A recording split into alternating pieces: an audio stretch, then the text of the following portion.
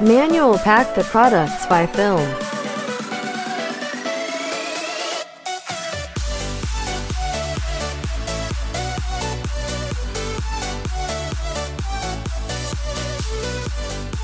Cut it by the heater and hit the heater.